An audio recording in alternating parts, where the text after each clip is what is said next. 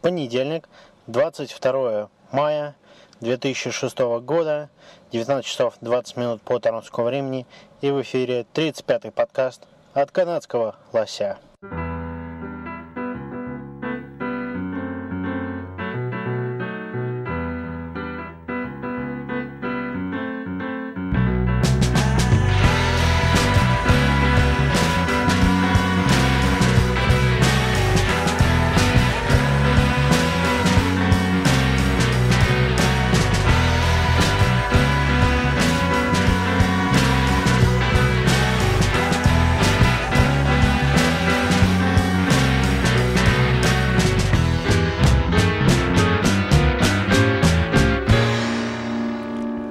Еще раз э, доброе время суток вам, дорогие подкастеры.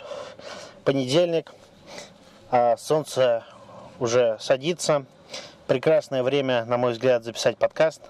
Я собирался записать подкаст э, пораньше, вообще-то вчера, но как-то вот не получилось.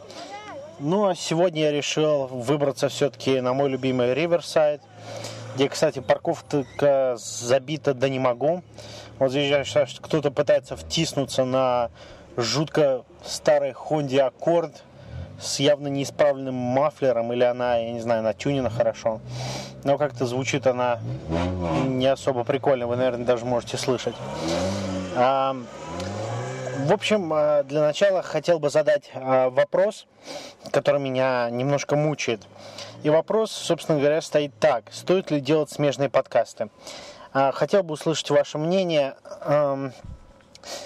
я вполне понимаю, что мои смежные подкасты обычно звучат совершенно несерьезно, может немножко даже смешно или даже, можно так выразиться, дурно.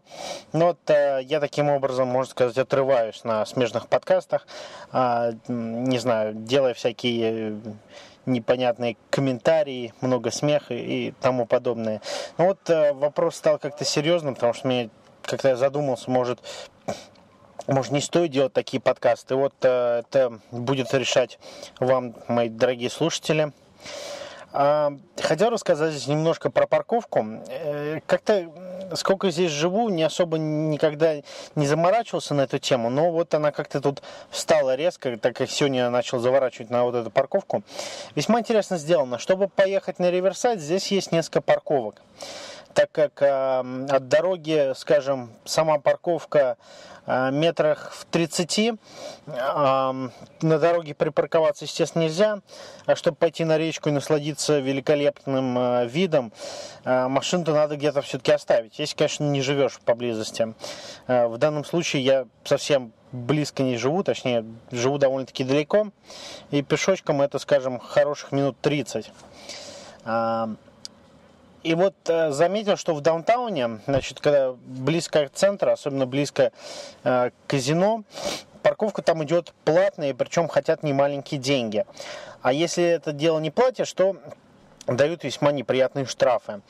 А вот у меня никогда еще не было э, штрафов, то есть за превышение скорости, за дорожно-транспортные происшествия, скажем так, там, превышение скорости, я не знаю, еще что-то. А вот а, за парковку у меня штрафов было очень-очень много. Потому что они здесь интересно делают, здесь какие-нибудь стоят столбики. А, вот один, а, помню, совершенно не, тоже так недавно произошло, я припарковался около столбика, столбика этого, кинул туда деньги на время, скажем, минут на 20. А, а там было, э, значит, э, внизу столбика написано мелким шрифтом, что, мол, э, в период, допустим, с трех до, а, я не знаю, четырех часов парковаться нельзя. Я как раз в это время припарковался. И мне дали такой солидный штраф, не помню, то ли на 30, то ли на 40 долларов. Это было крайне неприятно. Вот. И вот эти вот бесплатные парковки, они находятся, в принципе, а, ну, не очень далеко, но далеко от вот этих вот коммерческих заведений, типа казино. И что я заметил, весьма интересно, эти парковки всегда забиты. Причем я сейчас стою, я стою не на месте, где можно парковаться, а вот буквально на дороге вокруг парковки.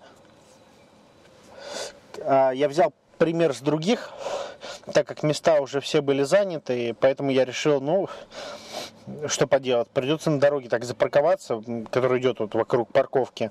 И тут, в принципе, тоже неплохо довольно-таки сидеть и записать подкаст здесь. А, весьма интересная вещь тоже вводится в Канаде.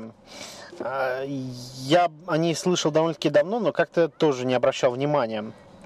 Совсем недавно тут зашел в бар, и э, спросил, можно ли покурить.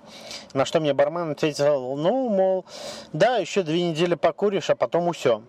А, вот.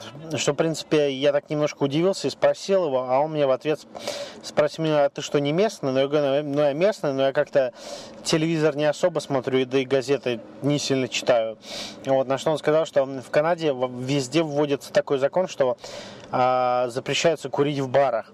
А, я точно не знаю, хорошо ли это э, или нет, в смысле, в перспективе будет это хорошо или нет.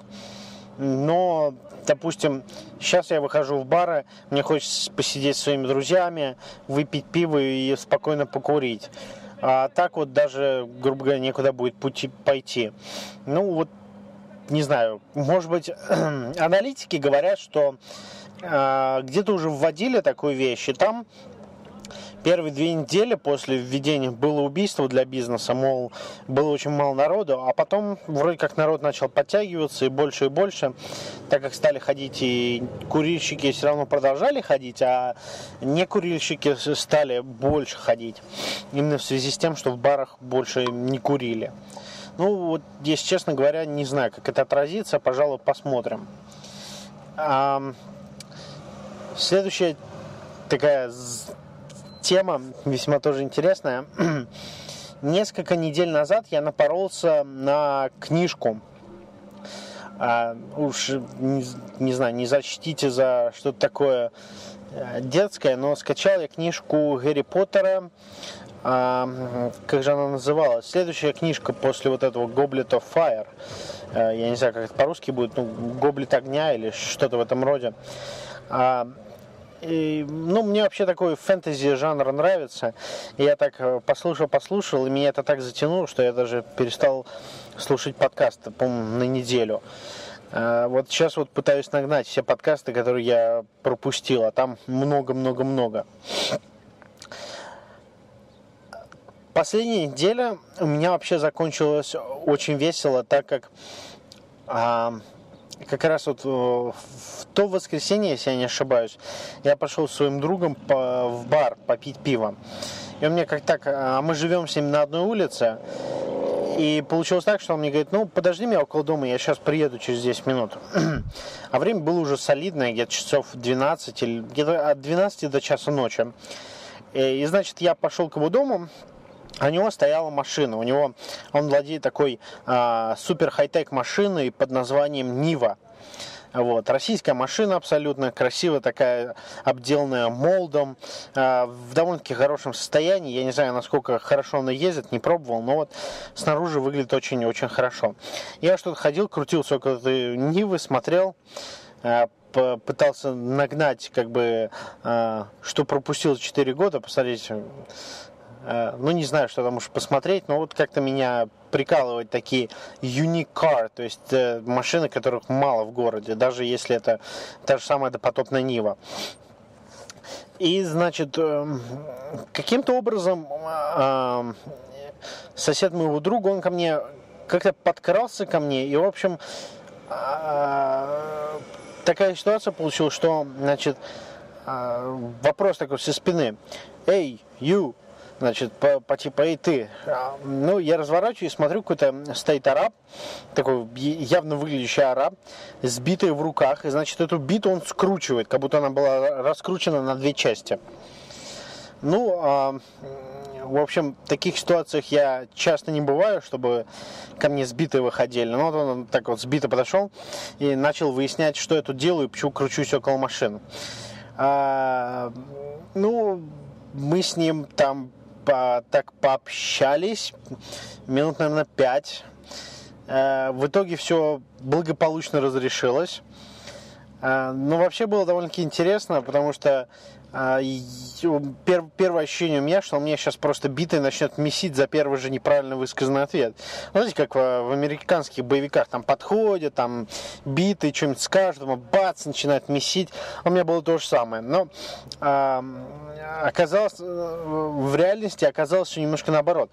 А, я не знаю почему, э, то ли я выглядел страшно, то ли, я не знаю, он никого еще битой не бил. Но он э, держал, то есть держа в руках биту, готовясь явно уже начинать ей махать при первом же моем шаге, э, я как бы к нему начал подходить, мол, поговорить, объяснить ситуацию. А, а, а он от меня отходил на три шага и говорил, не подходи ко мне, не подходи ко мне. Ну, вот, в итоге как бы все сошлось к тому, что он думал, что я пытаюсь тут машины ограбить или магнитолу вытащить или еще что-то. Uh, уж какой такой довольно заботливый сосед, я бы сказал. Uh, впоследствии я опять же своего друга узнал, что он там uh, какие-то они, в общем, немного странные. Ну, в смысле, они там что-то ругаются постоянно. Ну, такая, такая вот у них семейка, он и жена там что-то бьют, еще что-то. Ну, э, он мне сказал, что соседи их тоже не особо терпят. Но вот оказался такой заботливый сосед. Вышел сбитый, мол, что ты около моего соседа машины крутишься. Тоже интересная такая заметка. На ту неделе э, как раз вот я своим другом ходил в бар, он мне предложил э, взять такую э, великолепную машину. Надеюсь, многие из вас помнят. Она называется 2108, ВАЗ-2108. Также она знаменита как э, Лада Самара, это в импортном варианте, и в российском это Лада Спутник. 93 -го года, вот он мне их предложил взять и это для меня очень так, меня это совращает, потому что, ну, удовольствие езды на Ладе, в общем-то, не особо большое, но сам факт того, что, как бы, э, не знаю, вот эта вот, такая машина будет только одна в городе, довольно-таки меня совращает. И вот я тут поехал ее посмотреть, и обнаружились многие неприятные факты. Эм, в машине, во-первых, кто-то покопался, эм, если я не ошибаюсь, то разобрали карбюратор. Как-то его разобрали наполовину, а, и меня тут же пробил вопрос, а где я возьму даже запчасти. Вторая проблема, там кто-то копался с двигателем там какие-то крышки э, отсутствуют. Я даже немного воды обнаружил в двигателе, что, э, на мой взгляд, довольно-таки плохой признак, так как э, ну, это будет очень сложно избавиться, и, скорее всего, при, придется перебрать двигатель. Ну и самое последнее, и, наверное, самое очевидное, что э, сама Лада была прогнившая насквозь что в принципе тоже не особо большая проблема, и можно все это дело заделать карбон файберглассом, извиняюсь, но все равно я так подумал, взвесил, еще даже вот не знаю, браться за этот проект, то есть начать чинить эту ладу или нет. Вообще, я вот взялся чинить свою машину, у меня тоже вот всплыл такой вопрос по ходу действия. Я приложу фотографии, чего я сделал со своими пластмассовыми крышками, которые одеваются на колеса. Они получились весьма-весьма неплохо, в смысле, как они выглядят. Я сделал пару фотографий, повешу их на интернет. И у меня мучил вопрос вообще, интересно кому-либо было бы послушать, как вот, как вот это вот все делается. Потому что, например, эм, я в свое время искал, допустим, а, как что-то починить или как-то что-то покрасить, еще, ну, сделать довольно-таки профессиональную работу. Я, конечно, понимаю, что а, теория и практика это две огромные вещи. Одно дело вам кто-то расскажет, как это делать, другое дело вы возьмете, извиняюсь, инструменты в свои руки и начнете делать. Но, по крайней мере, если в теории знать, что делать, то, по-моему, на практике это становится немножко полегче. Вот меня, я задался таким вопросом, я в интернете как-то особо много информации не нашел, как там что-то чинить или как-то что-то красить, еще что-то. Мне просто стало интересно, если кому-то будет интересно, чтобы я сделал детальное описание, как что-то чинить, как что-то ремонтировать, а, как покрасить вот эти вот пластмассовые вещи. Потому что этим летом я вообще собираюсь плотно заняться своим автомобилем, я сейчас а, уже покрасил свои вот эти вот пластиковые капсы, которые идут на колеса. Это у меня был такой своеобразный тест. Я подумал, что если я их смогу хорошо сделать, то я возьму за покраску всей машины сам. А, поэтому, если кому-то интересно, то, пожалуйста, напишите в комментарии, напишите на сайт, напишите мне имейл, Аську, а, то я сделаю какие-нибудь специальные выпуски, где буду описывать, как же все это делается. А в проекте у меня, в принципе, несколько вещей. Я собираюсь, во-первых, э, ремонтировать свой капот. А, я его собираюсь облегчать. Раз, а, делать специальный воздухозаборник, который будет вести воздух напрямую а, на фильтр. Также я собираюсь облегчать машину, еще, правда, не знаю как. Ну, вот у меня такие планы идут на будущее.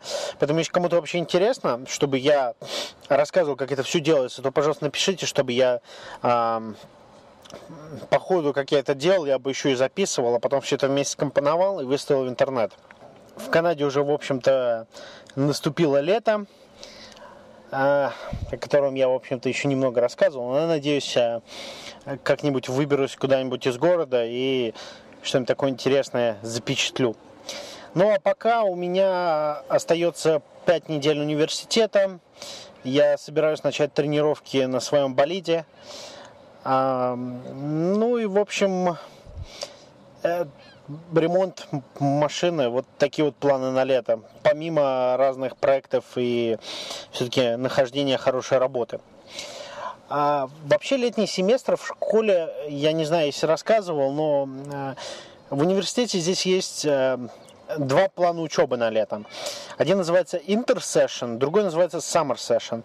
Ну, значит, если Summer Session переводится как летняя сессия, и с ним все понятно, значит, опять э, там 3 или 4 месяца учишься, как обычно, все нормально, а, спокойный такой э, плавный, размеренный ход учебы, то интерсешн это вообще отдельная тема. Интерсешн это что-то такое, которое было придумано просто сумасшедшим человеком. Я никогда еще ни разу, ни одно лето не учился в Summer Session, в, в полном нормальном семестре. Я все время попадал на Intersession.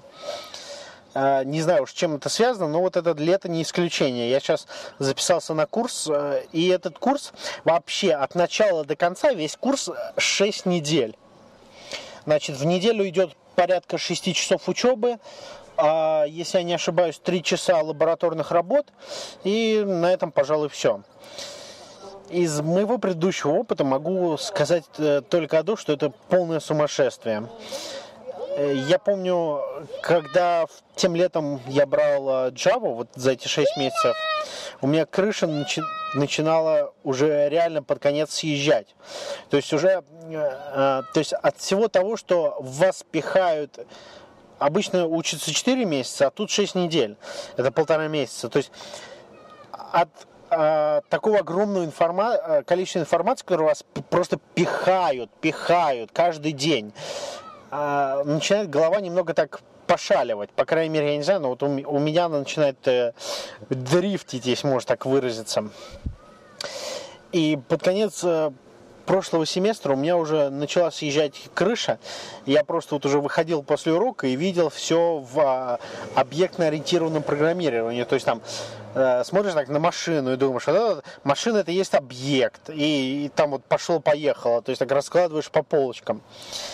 А, и вот э, не знаю, как в этом семестре. Я в этом семестре, кстати, беру structures, то есть э, разные базы данных, э, как они делаются, листы, array, то есть и все подобное. Поэтому я думаю, под конец семестра я уже буду думать все в вот как это in terms of database, то есть каких-то таких своеобразных database понятиях.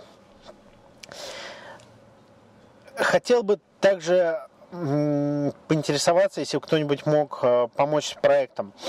Я о проекте заикался довольно-таки давно, и проект понемножку идет, но, э, собственно говоря, он не идет настолько быстро, как бы мне хотелось, но он идет. А, я расскажу буквально немного, что, что за проект. А, в общем, мы делаем, а, я и Ваня, мы делаем такую небольшую программу, которая смогла бы распознавать картинки и их анализировать. Я не буду распространяться, что именно программа это будет делать. А, возможно, я расскажу об этом немного попозже. Но хотел бы вот просто спросить, если кто-то из коллег-программистов а, знает об этом или может дать полезный совет. Вот у меня есть как раз два огромных таких э, такие вещи. Первое это как распознавать картинки. А, теперь мы уже реализовали а, как сказать, э, одно из решений, которое, на мой взгляд, э, самое примитивное, которое может быть. То есть это, грубо говоря, есть скриншот или есть картинка. Из картинки выдирается, вот у нас, например, задача сейчас такая, чтобы распознать на картинке какую-нибудь деталь, скажем, квадратик. Вот есть картинка, и на ней надо распознать квадратик, который в этой картинке есть. Значит, по идее, самое примитивное, это берется этот квадратик и ищется по всей картинке. И вот мы сейчас таким способом оперируем, но я лично считаю, что это недостаточный. Есть также варианты, были предложены, как использовать векторную графику, bitmap. А, ну вот э, я хотел бы поинтересоваться у тех, кто или этим знает, или что-то слышал, или видел, как же это все-таки, а, не знаю, дополнительную информацию, как и что. А, второй Вторая также вещь – это искусственный интеллект или AI. А здесь проблема более большая, так как э, эта часть, если Ваня занимается картинками, то моя часть как раз разработать вот такую своеобразную AI. И здесь я не совсем представляю, с чем я имею дело. То есть я, я так, в общем обозрении понимаю, что это такое, но вопрос, как бы, как это сделать. А, поэтому, если, в принципе, есть, э, опять же, кто-нибудь знает, или есть книжки, или еще что-то, я буду очень-очень-очень рад э, совету и линкам, чтобы почитать, как это можно все реализовать. Также, в принципе, а, если есть какие-нибудь а, программисты, которые заинтересованы просто поучаствовать в проекте, а, я буду очень-очень рад. Пишите, пожалуйста, если проект, скажем так, он идет довольно-таки медленно, поэтому много времени я не думаю, что займет, чтобы там, если я кому-то дам что-нибудь написать маленькое, тут, в принципе, как бы проект идет настолько плавно, что, в принципе, это не так уж будет натяжно, если даже вы работаете. Ну, опять же, если это интересно. Опять же, если интересно, я расскажу более подробно о проекте, что делается и о перспективах его. А, ну что ж, я буду понемножку заканчивать свой подкаст сегодня. А, ну и в конце хочу подвести итог с конкурсом, который мы опубликовали в прошлом подкасте. А, в общем, отзывов было не так много, я уж не знаю, это из-за того, что просто ни у кого никаких идей нету или просто никто не заинтересован. А, в общем, было два человека, которые написали. Я, к сожалению, не могу сейчас зачитать именно какие были варианты предложены. Там, по-моему, было все два варианта. А, все, кому интересно, могут зайти на мой а, веб-сайт mers.net и посмотреть. Там прямо есть. В комментариях написаны все варианты, которые были представлены. Ну и мне больше всего понравился вариант от Сергея, который предложил использовать валинг для ловли э, раков. Так что, Сергей, забирай свой подарок. Ключ у меня, к Google Analytics, пожалуйста, мне напиши. Ну и я встречусь с вами через неделю. Точнее, нет, в конце этой недели, извиняюсь. Все, счастья вам, а, отдыхайте, радуйтесь лету и берегите себя.